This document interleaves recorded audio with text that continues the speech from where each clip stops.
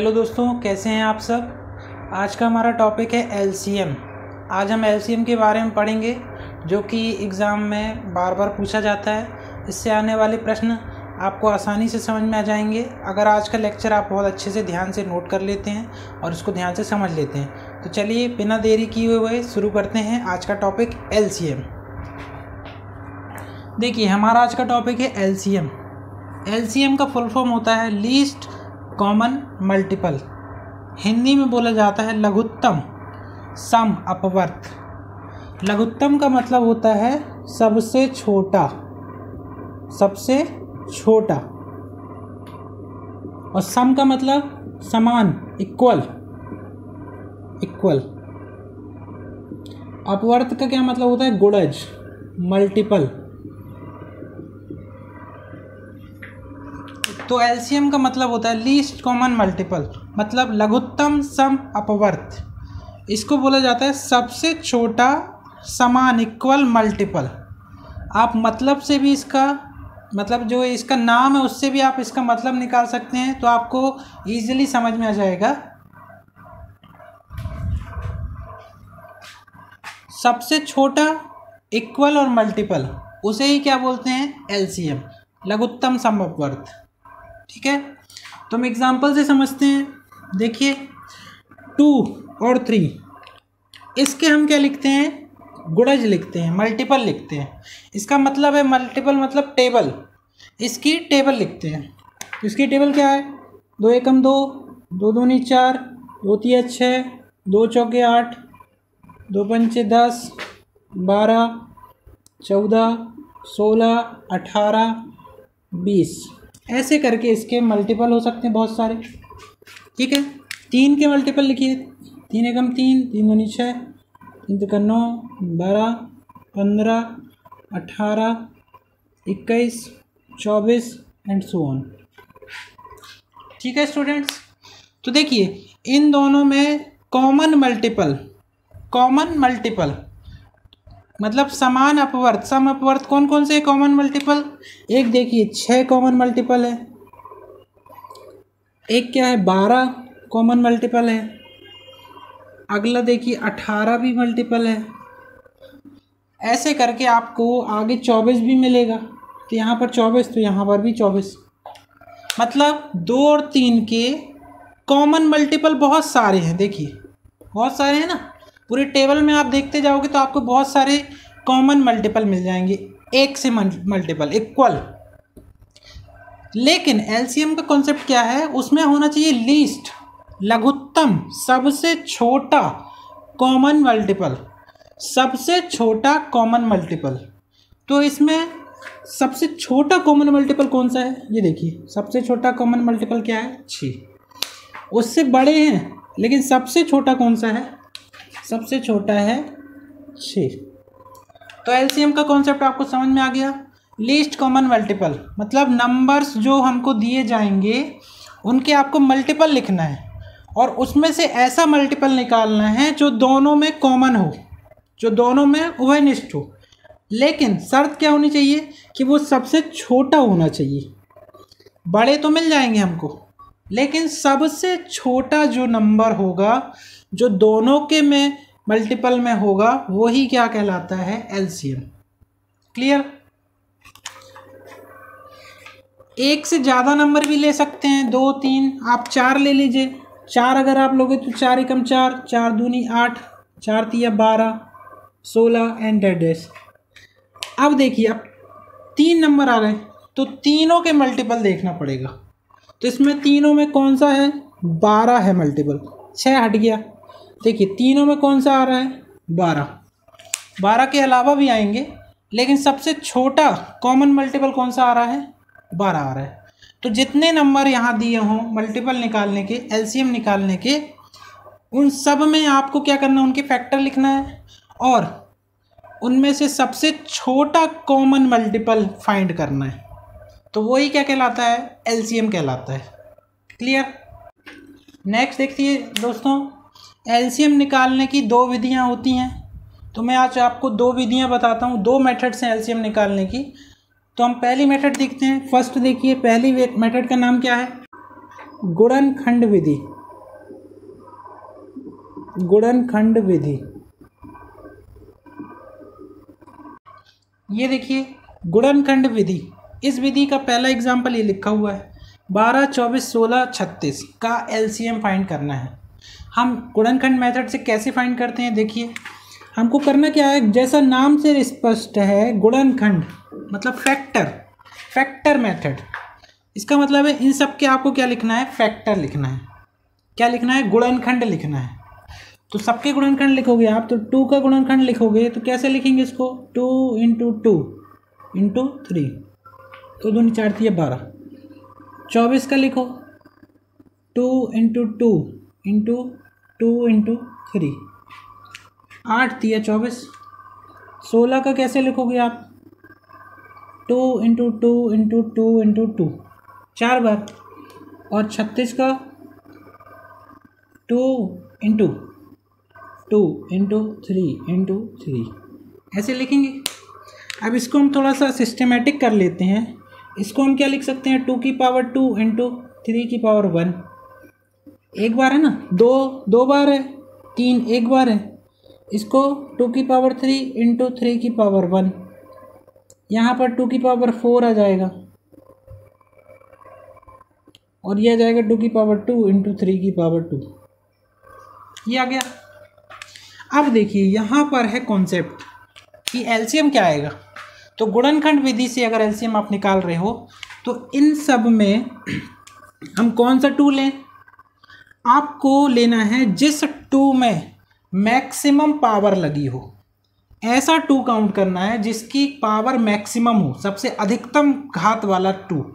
तो maximum power वाला to कौन सा है? ध्यान से देखिए, ये टू, फोर, थ्री, टू, सबसे मैक्सिमम पावर क्या है? Two to the power four. फिर लगाना इंटू का साइन। अब ऐसे ही यही कॉन्सेप्ट थ्री में भी लगाइए। थ्री की मैक्सिमम पावर कौन सी है इसमें? टू है। तो इन टू करके थ्री की पावर टू इसको सॉल्व कर लीजिए, यही क्या कहलाएगा? एलसीएम तो इसको सॉल्व करेंगे, यह जाएगा कितना? सिक्सटीन यह जाएगा नौ। इसको मल्टीप्लाइड करोगे आप तो क्या जाएगा? एक सौ चवालीस। तो इस सब का एलसीएम क्या आएगा? वन डबल फोर तो ये मेथड कहलाती है गुणनखंड विधि या फैक्टर विधि। ठीक है? देखिए स्टूडेंट सेकेंड मेथड होती है भाग विधि। ठीक है, भाग विधि। सबसे ज़्यादा आपको इसी मेथड का यूज़ करना है। दूसरी विधि का नाम क्या है? भाग विधि। दो ही विधियाँ हैं। एक गुणनखंड विधि हो गई, दूसरी होती भाग विधि। सबसे ज़्यादा आपको इसी मेथड का यूज़ करना है। इस मेथड से ही आप सॉल्व करेंगे तो आसानी होगी आपको आंसर निकालने में। चलिए देखते हैं, इस मेथड को कैसे सॉल्व किया जाता है। यही क्वेश्चन ले लो। आपको क्या करना है? इनका एलसीएम निकालना है। तो आपको इसको कैसे लिखना है? Twelve twenty four sixteen thirty six. इस पर लिखने का तरीका ऐसा होता है। अब आपको क्या करना है, इसमें सबसे छोटी संख्या जिसका भाग जा रहा हो, उससे आपको भाग देते जाना है। जहाँ नहीं जा रहा, वहाँ आपको भाग नहीं देना है। लेकिन भाग पूरा पूरा जाना चाहिए। तो देखिए, टू का भाग चला जाएगा। देखिए स्टूडेंट्स, भाग देने का मैंने अलग से एक लेक्चर अपलोड किया है। उसका नाम है विभाजकता के नियम। तो आप भाग देने के नियम वाला लेक्चर देख लीजिए। अगर आप वो लेक्चर देख लेंगे तो आपको एलसीएम निकालने में बहुत आसानी होगी। और सबसे पहले आपको अपना बेसिक स्ट्रॉन्ग करना होगा। तो भाग देने के नियम आपको पता होना चाहिए। जब आपको भाग देने के नियम मालूम होंगे, तभी आप उसके क्या कर सकते हैं? फैक्टर निकाल सकते हैं। तो आप वो लेक्चर को देख लीजिए तो आपको भाग देने की मेथड पता चल जाएगी। चलिए देखते हैं। टू से भाग दोगे छः ये बारह, ये आठ और ये अठारह। फिर से टू से भाग देंगे। दो तीन छः दो बारह, दो चौके अठारह, दो ही नाइन सॉरी, यहाँ पर नहीं, ठीक है। अभी टू से भाग जाएगा। देखो, तीन में भाग नहीं जाएगा तो आप तीन को एज रेट लिख दो। छः में भाग जाएगा, दो तीन छः दो में जाएगा, चार में जाएगा, दो। नौ में नहीं जाएगा दो का तो नौ को वैसे ही। यही मैं समझाना चाह रहा हूँ। जहाँ भाग जा रहा है तो ठीक है, और जहाँ भाग नहीं जा रहा है तो आप उसको वैसे ही लिख दो। एक बात और याद रखिए, आपको सबसे छोटे नंबर से भाग देना है। सबसे छोटे नंबर से। आप बोलोगे चार का भाग भी तो जा रहा है इसमें, लेकिन चार से छोटा दो है, दो का भी जा रहा है। ऐसा इसलिए होता है कि आपको सबसे छोटे नंबर से भाग देना है। कई बार आप बड़े नंबर से भाग देते हो तो एलसीएम गलत आ जाता है। उसके लिए आपको क्या करना है? हमेशा छोटा नंबर प्रेफर करना है। छोटे नंबर से ही भाग दोगे। क्योंकि बड़े नंबर का भाग कई बार इसमें तो चला जाता है, लेकिन दूसरे नंबर्स में नहीं जाता। इसलिए हमेशा छोटे नंबर को प्रेफर करना है। छोटे नंबर से भाग दोगे आप। अब देखिए, अभी भी दो का भाग चला जाएगा एक बार और। तीन में नहीं जाएगा। इसमें चला जाएगा। अब किसका भाग जाएगा? तीन का। तो तीन का भाग दोगे तो एक, ये एक, ये भी एक और ये तीन। एक बार और जाएगा, तीन का भाग। सब जगह क्या आ जाएगा? वन वन आ जाएगा। तो ये जो आया है आपका यही क्या है? एलसीएम। बस इसको आप क्या कर लो? मल्टीप्लाइड कर लो।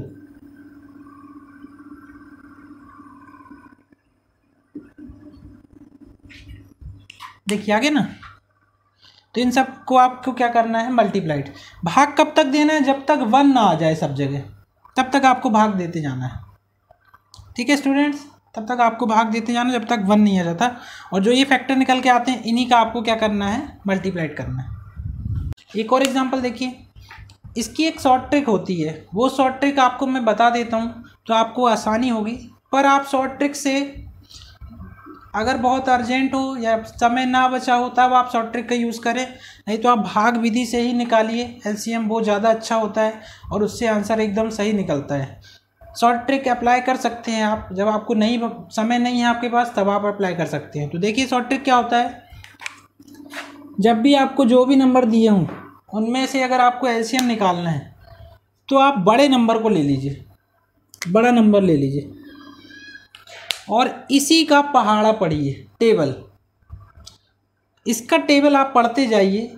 ऐसा नंबर ढूंढना है हमको, जिसमें इन तीनों का डिवाइड चला जाए। तब तक इसका टेबल पढ़ना है, पहाड़ा पढ़ना है। जब तक ऐसा नंबर ना आ जाए जिसमें तीनों का डिवाइड ना चला जाए वो ही एलसीएम होता है। कैसे? देखो, बीस का एक बार पढ़ो। अच्छा शुरुआत हमेशा आपको एक से ही करनी है। बीस एकम बीस, आप बीस दूनी चालीस नहीं करेंगे। हमेशा फ़र्स्ट से, बीस एकम बीस बीस एकम बीस। बारह का भाग जाएगा बीस में? नहीं जाएगा। इसका मतलब बीस नहीं है। बीस दूनी चालीस। चालीस में बारह जा रहा है डिवाइड नहीं जा रहा। बीस से कम बीस बीस दून चालीस, बीस तीस साठ? बारह से भाग जा रहा है? बारह पंचे साठ, पंद्रह चौके साठ और बीस तीस साठ। तो यही है एलसीएम ये शॉर्ट ट्रिक है। आप इसको अप्लाई कर सकते हैं। बड़े नंबर का पहाड़ा पढ़ना है एक से और चेक करना है कि तीनों का भाग जा रहा है कि नहीं। जहाँ तक पहाड़ा कहाँ तक पढ़ना है, जब तक आपको वह वो ऐसा फैक्टर ना मिल जाए जहाँ पर तीनों का भाग ना जा, भाग चला जाए। उस फैक्टर को ही क्या बोलेंगे हम? L C M is that clear next question देखिए। ये लिखा हुआ है। टू की पावर टू टू की पावर थ्री, टू की पावर फाइव, टू की पावर सेवन का एल सी एम बताना है हमको। तो याद रखिए स्टूडेंट्स इसमें बेस क्या है? सेम है। ये बेस है, ये पावर है। ये बेस है, ये पावर है। इसमें बेस क्या है? सेम है। तो आपको एलसीएम निकालना है। तो मैंने अभी आपको शॉर्ट ट्रिक बताया कि सबसे बड़ा नंबर सबसे बड़ा नंबर है ना ये? उसको ले लो और उसी का आपको टेबल पढ़ना है। तो आपको टू की पावर सेवन आप ले लीजिए, एक बार। टू की पावर सेवन लोगे। टू की पावर टू का भाग चला जाएगा इसमें। चला जाएगा। क्यों? टू की पावर टू यहाँ लिखोगे? ये सात बार है, ये दो बार है। तो आप जब इसको काटोगे तो यहाँ पाँच बार बचेगा ना? मतलब भाग जा रहा है। तो टू की पावर सेवन में इसका भाग चला जाएगा, इसका भी चला जाएगा, इसका भी और इसका भी, सबका चला जाएगा। इसका मतलब जब बेस सेम हो, आधार एक सा हो तो जो मैक्सिमम पावर होती है मैक्सिमम पावर वो ही क्या बन जाती है? एलसीएम बन जाती है। मतलब बेस सेम है पावर बढ़ते क्रम में लिखी हुई है या घटते क्रम में, हमको देखना है सबसे मैक्सिमम पावर वाला कौन सा है। तो वही क्या कहलाएगा? एलसीएम कहलाएगा। नेक्स्ट क्वेश्चन देखिए। Three to the power minus two minus three minus four minus five का एलसीएम बताना है हमको। यहाँ पर बेस सेम है। बेस क्या है? सेम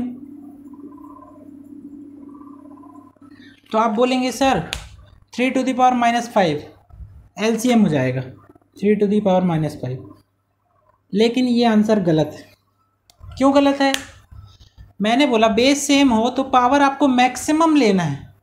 तो सर मैक्सिमम ही तो ले रहे हैं। नहीं। निगेटिव वाला जब भी आता है तो निगेटिव नंबर जितना ज़्यादा बड़ा होगा, वो उतना ही छोटा होता है।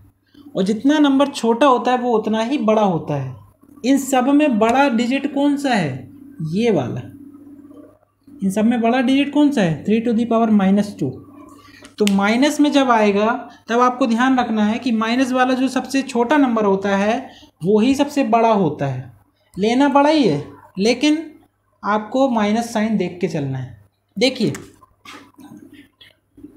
ये नंबर लाइन है। वन टू थ्री ये पॉजिटिव डिजिट है प्लस वाले। यहाँ कौन से होते हैं? यहाँ माइनस वाले होते हैं। माइनस होते हैं ना तो माइनस फाइव देखिए माइनस फाइव ज़ीरो के दूर है ना ज़ीरो से, ये पॉजिटिव रेट है, ये नेगेटिव है। आप नेगेटिव की तरफ़ आओगे तो आप छोटे होते जाओगे। तो माइनस पाँच क्या है? छोटा नंबर है। लेकिन माइनस टू ज़ीरो के पास में है पॉजिटिव के तो ये बड़ा नंबर है। इस तरफ़ बढ़ोगे तो नंबर बढ़ता जाएगा। इस तरफ़ आओगे तो नंबर छोटा होता जाएगा। नेक्स्ट क्वेश्चन देखिए स्टूडेंट्स यहाँ पर टू की पावर थ्री थ्री की पावर फोर फाइव की पावर टू का एलसीएम बताना है। यहाँ आप देखिए बेस सेम नहीं है है ना? बेस क्या है? सेम नहीं है। तो जब बेस सेम ना हो बेस सेम ना हो तो आपको इनको डायरेक्ट मल्टीप्लाइड कर देना है। इसको आप डायरेक्ट क्या करोगे? मल्टीप्लाइड कर दोगे। वो ही क्या बन जाएगा? एल सी एम तो एट इंटू ये आप मल्टीप्लाइड कर दोगे डायरेक्ट यही क्या बन जाता है हमारा? एलसीएम बन जाता है। ठीक है? नेक्स्ट क्वेश्चन देखिए स्टूडेंट्स हमको क्वेश्चन पहचानना है कि क्वेश्चन एलसीएम का है या नहीं है। तो उसके लिए मैं आपको कीवर्ड बता देता हूँ। जब भी ये वर्ड आपको देखने मिल जाए, छोटी से छोटी छोटी से छोटी संख्या।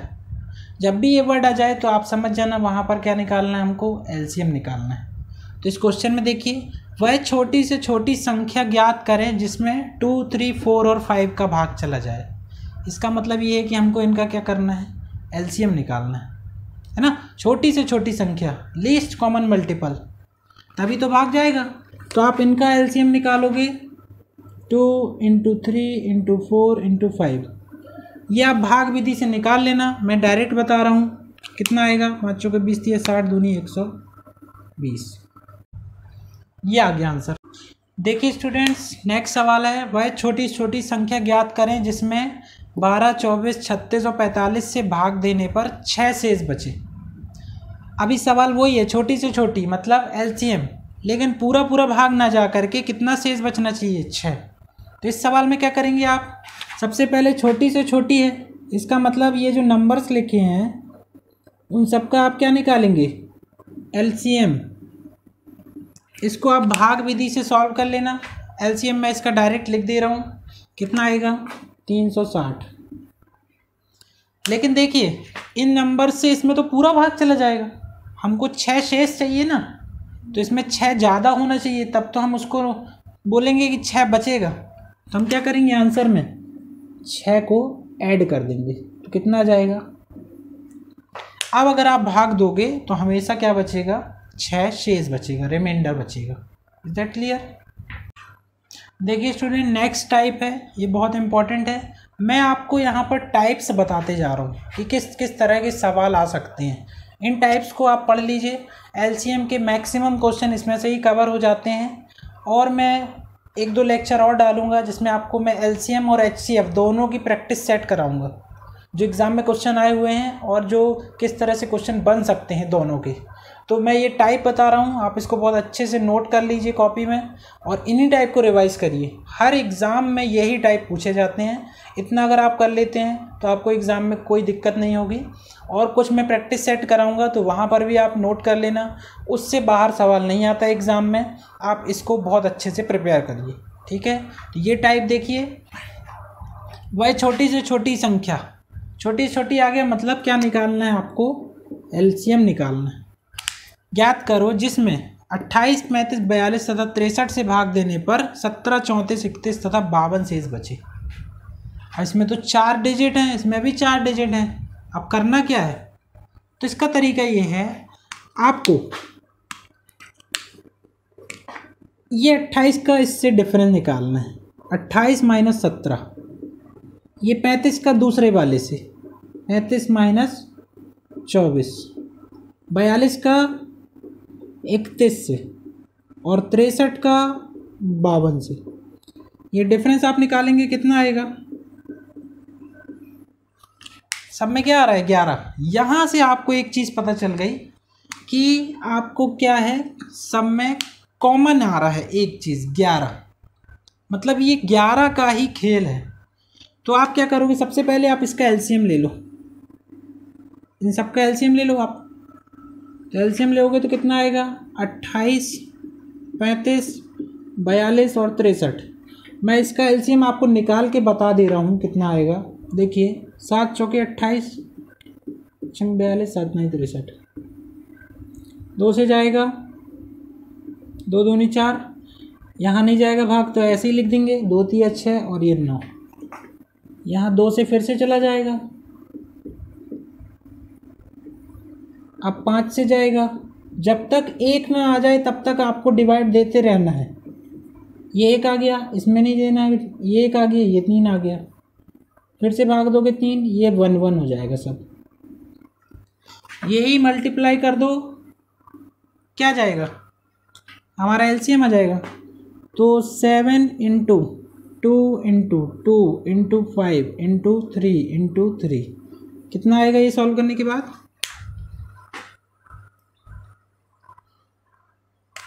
ये आएगा बारह सौ साठ। ठीक है स्टूडेंट्स ये बारह सौ साठ तो एलसीएम आया है। अब आपको करना क्या है आगे? ये जो कॉमन मल्टीपल ये जो कॉमन नंबर दिख रहा है, ग्यारह। जब आप इस ग्यारह को इसमें से घटा दोगे तो आपको फाइनली आंसर मिल जाएगा। तो आप जब बारह सौ साठ को में से ग्यारह घटा दोगे तो कितना जाएगा नौ? यहाँ बचेगा कितना? छः में